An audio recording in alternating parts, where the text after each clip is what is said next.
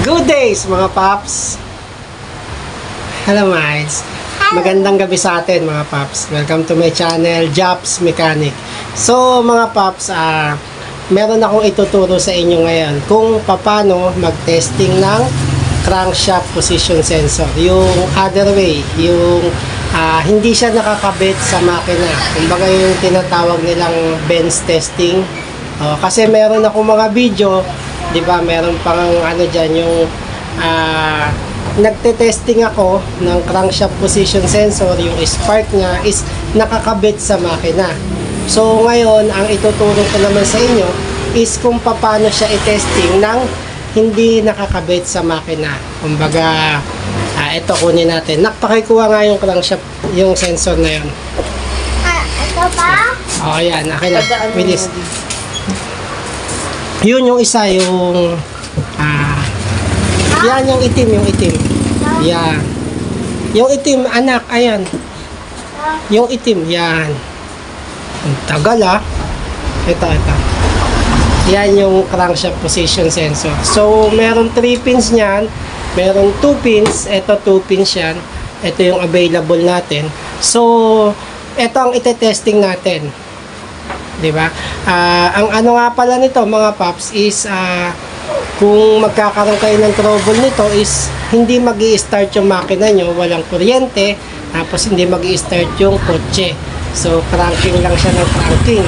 So, pag pina-scan natin, ah, maaaring lalabas crankshaft position sensor.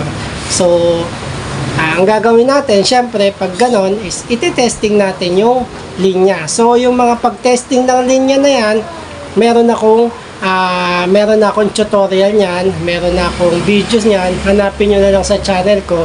So ngayon ang ituturo ko naman sa inyo is kung paano mag-testing nito na wala sa makina.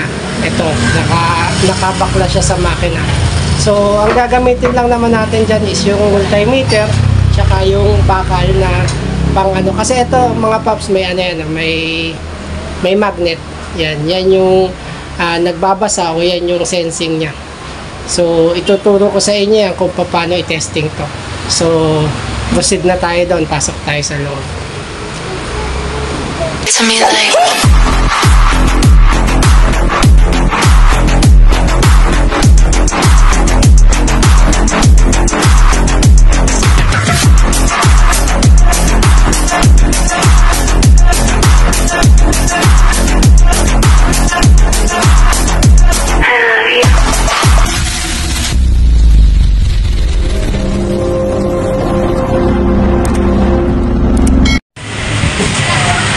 Ayun mga paps, nandito na tayo sa loob. Pumasok tayo. So, dito tayo magte-testing ng crankshaft position sensor.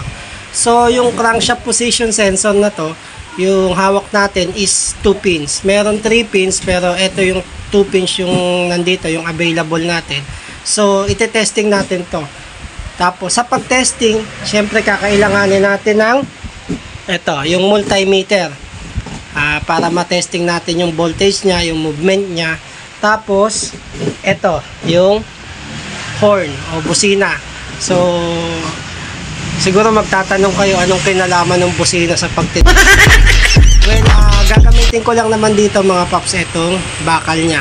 Yan, kasi wala lang ako makitang ano, ah, bakal.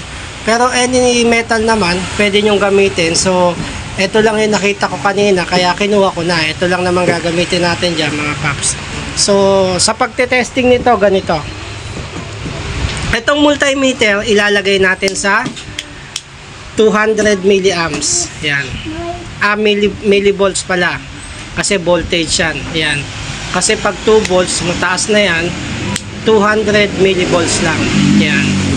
Pag nailagay nyo na dyan, mga paps, ganito lang yan.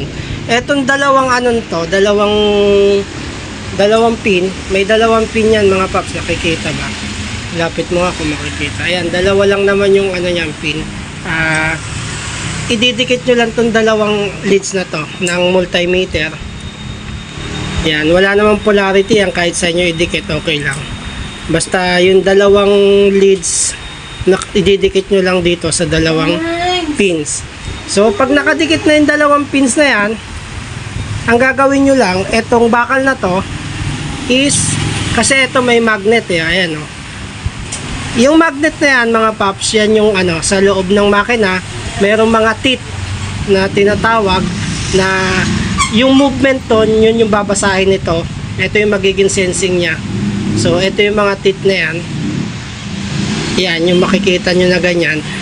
Yan, dito dadaan yan. Pag dumaan dito yan, pag umikot yung makina at dumaan sa kanya, masesense niya yun. Yun yung ibabato niya kay computer na ah, information. So, yun ang ano nito, yun ang ah, obligasyon nito. So, ganito gagawin natin. Yan, di ba, dumidikit.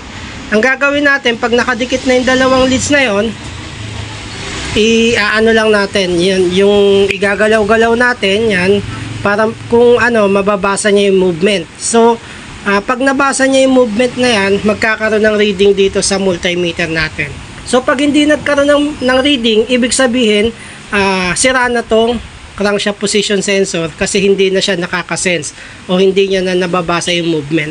So, pag nagkaroon ng ano ng ah, reading, ibig sabihin okay pa tong crankshaft position sensor. Ganun lang yung pagte-testing dito. So, proceed na tayo sa pagte-testing. Papatulong lang tayo. May pakihawak to. Etong dalawa, ididikit ko na dito. Yan. Medyo ano lang kasi wala akong clip. Ididikit ko lang yan. Yan pag nakadikit na dito. Yan i ano lang natin. Yan o tignan do- doon ka sa multimeter. Yan. At tignan nyo nag nag-iiba-iba di ba? Kumbaga gumagalaw yung voltage niya habang ginagalaw nung ah, habang ginagalaw to tignan mo muna dito sa ano. Yan di ba habang gumagalaw yan nagmo-movement din yung ano niya yung voltage niya. Ayun, tingnan mo yung voltage. Yan. Yan. Ibig sabihin yan, ah, gumagana tong sensor na to. Ibig sabihin hindi siya sira kasi nakaka-detect siya ng movement. Yan yung ibibigay niyang information kay computer. So, nalaman natin na ito is crankshaft position sensor na to is gumagana pa. Well, gumagana naman talaga to. Ah, kumbaga hindi pa to sira. So pag sira na pag sira na yung sensor, ibig sabihin ah, hindi na siya makaka-detect nito kahit ah, idikit i gan, ganun-ganun natin, hindi na siya makaka-detect, wala nang mababasang reading dito. Yun masasabi nating sira na. So, ganun lang mga paps, yung pag-testing ng crankshaft position sensor, ah, pag nagkaroon kayo ng problema sa crankshaft position sensor na napa-scan nyo, ayaw mag-start yung sasakyan, walang kuryente, tapos pina-scan nyo is, ang lumabas is crankshaft position sensor. So, una i-check natin yung wirings, tapos pagka okay yung wirings, i-check natin tong ah, crankshaft position sensor mismo. So, ganun lang yung pag-testing katulad ng ginawa natin. So, mga paps, sana kahit papano is nakatulong yung video ko sa inyo ah, sa pagda-diagnose ng mga ah, sira ng sasakyan, lalong ito, lalong lalo na itong crankshaft position sensor kasi minsan pag talagang ayaw mag-start ng sasakyan ah, sa mga makabagong sasakyan is ah, ito ang nagiging diferensya. So, kung napadaan ka lang ngayon sa channel ko, ah, please subscribe Jobs Mechanic. Pakipindot na rin yung notification bell para kahit papano ma-update ka sa lahat ng mga videos na i-upload ko. Okay, God bless atin lahat.